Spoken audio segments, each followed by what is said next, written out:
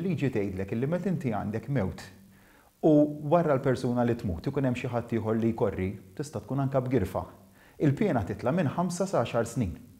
Jiġifieri wieħed mhux diġà mhux qed jifhem ir-raġunament wara dan kollu, Għaliex mewt sa erba' snin u mewt u girfa sa għaxar snin priġunerija? Dan kien l-irbit tal-Qorti fil-każ ta' Dorian Camilleri, l-għalliema li ngħatat sentenza ta' ħames snin priġunerija wara li nstabet ħatja tal-qtil involontarju ta' Alfred Zahra u weġġa' gravi lil Carmela Zahra f'inċident tat-traffiku fl-2011.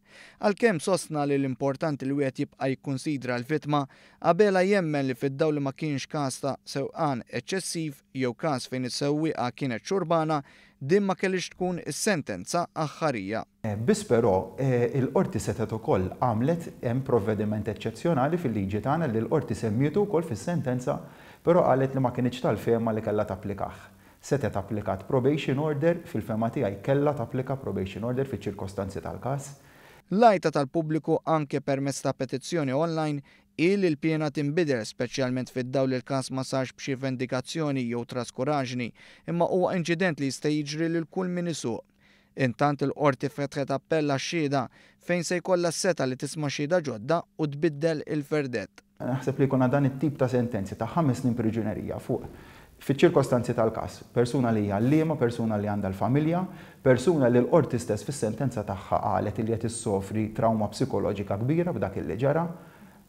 Inħoss li dik il-piena żgur li għandha tinbidel u din li jidher li hija l-għajta fuq barra tal-pubbliku kollu. Fil-fatt mas-sit one dot com dot mt tkellmet mara li rat l-inċident iseħħ quddiem għajnejha u li qed taspira li tagħmel li tista' biex tgħin lill-akkużata. Ma tiniex il-kuxjenza li nħalli tfajla f'din is-sentenza, spjegat ix-xhud.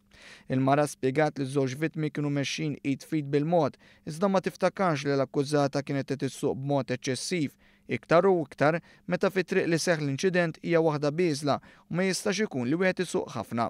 Għaldaqstant ħasset għafsa ta' qalb meta semgħet l-aħbar u stqarret li hekk kif semgħet bl-appell għax-xhieda, ħeġġet lil ommha li wkoll kienet fuq il-post biex jitkellmu t-tnejn u jgħinu lil Dorianne Camilleri.